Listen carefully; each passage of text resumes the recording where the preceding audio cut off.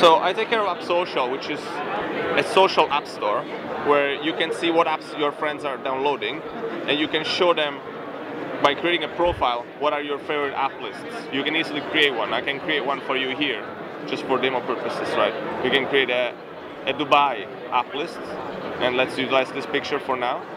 As the once the cover photo gets uploaded, I can start creating my own list of apps and tell my friends what are my favorite Dubai apps. And maybe I can I have some apps here installed already on my device that I want to use. Maybe I'll add the here maps because I think that's good when you travel. Uh, and of course Al Jazeera is relevant for Dubai, right? And as I've done that, I now have an app list for Dubai.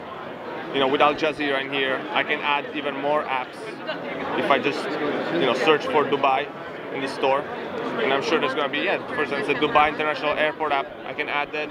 I can add a comment to that. And I can then share it through social networks very easily with the hashtag. So please follow the App Oh, Social wow. movement. And we'd love for you know influencers like you to join App Social. We can also get you featured. So we, if you create a list of apps for us, we can get you featured in here.